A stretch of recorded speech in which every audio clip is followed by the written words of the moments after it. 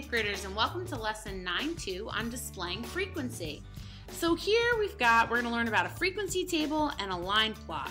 Okay, so we got a cat who's got all different body temperatures and we want to organize it in something called a line plot. So these are really useful for either comparing amounts, finding the most common value, or identifying outliers. All right, and we use little X's to show each time that that data appears. So this says, the table above shows body temperatures of some cats. Use the data to make a line plot.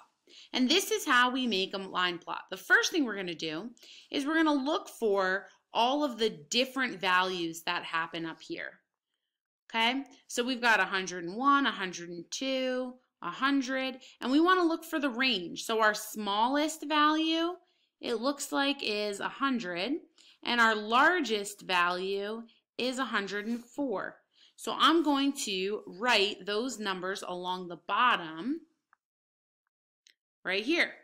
So I draw a line right here and then I write 100, 101, 102, 103, and 104 showing the range that all my data will fall within. And I always label so that way we know that this is temperature down bottom. And now I'm just going to go through and every time I see one, I'm going to put an X above that. So I've got 101. So then down here, I would do a little X by 101 and I would cross this one off. Then 102. So I would do a little X by 102 and I would cross this one off.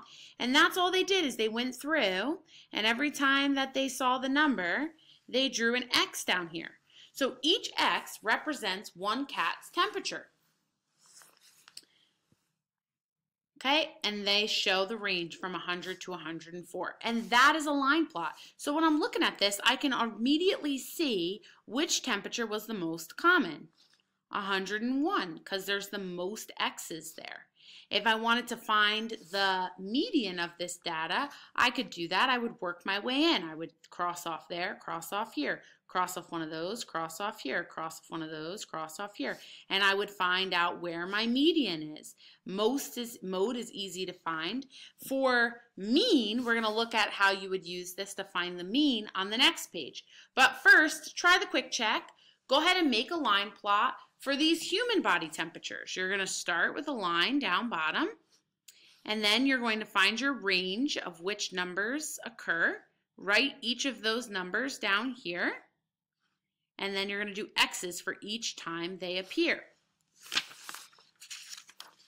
All right, so to use the mean, you in, in order to find the mean of the data using a line plot, this is what you got to do. You're going to multiply every time that 100 happens, so however many x's were above 100, you'll multiply it by that number. So in our last data set, you can look at it, there was only one x above 100, so we multiply 1 times 100. Then we're going to add that to how many times did 101 occur? 5 times. There was 5 x's, so we'll multiply it times 5. 102 happened 4 times, 103 was one time, 104 was one time. So we always multiply before we add. So we'll multiply all of those, then we'll add them together. And then on the bottom, you're going to, down here, we need to know how many numbers we actually were um, adding up here. So that's going to be all these numbers. 1, 5, 4, 1, 1. We're going to add all those numbers up and then we'll divide them. So for the cat, we can see that when they add them all up, they got 1,220. They divided it by the 12 that they got when they added those numbers, and they ended up with a mean of 101.7. Okay? Now the next thing says to find the median and the mode in example 1. So I already told you how to do that. I would like you to go back and do that and tell, write it in right here of what you found the median and the mode was. Now a frequency table shows how often items occur in a set of data. A histogram is basically just a bar graph without spaces and we already did one of those in one of our recent labs. So here is your last example problem. We have some brands of batteries last longer than others. Make a frequency table and a histogram for the data on hours of battery life. And then here is our data. So the first thing they ask for is a frequency table. A frequency table, you're just going to draw a very simple table. Then you're going to organize your data into um, categories, equal parts, like equal sized, so is that right here, intervals that begin with multiples of five. So we're going to try to find some nice and easy intervals. They don't always have to be by fives, but you want nice and easy intervals. And the first thing we do for that is also look for our range. What is our smallest number that we need to incorporate? And what is our biggest number? So our biggest number looks like it's 22. So we need to go up to 22. And so we're, we're going to, probably what would be easy is to just do this. So we're going to begin with 5. So we've got 5 to 9, 10 to 14, 15 to 19, 20 to 24, and then below that to make sure that we incorporate it equally with equal intervals.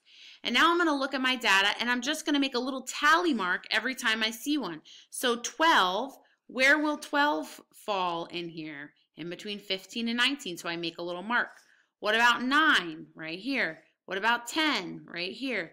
What about 14? Right here. What about 10? and I just make my little tallies. And when I'm all done and I've marked all of these off and tallied them up, then I'll look here and I'll write the frequency, which is how many times the tallies occurred. So I've got one tally, here I have eight tallies, one tally, two tallies. Now I can take this information and put it into a histogram. Okay, so on this histogram, it's, it's just a bar graph. Down bottom, I have the same things that I wrote over here with my hours.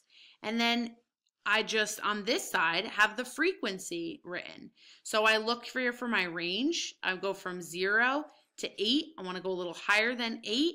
I want to break it into equal intervals. So I'm going to count up by twos. 0, 2, 4, 6, 8, 10. And then I just mark where each thing is. So in 0 to 4, it was 0. In 5 to 9, it goes to 1. In 10 to 14, 8. In 15 to 19, 1. In 20 to 24, 2. And they're all going to bump into each other with a histogram. There's no spaces between them. Make sure you put your title up top and you're done. So this is what a histogram is. All right, go ahead and get to work.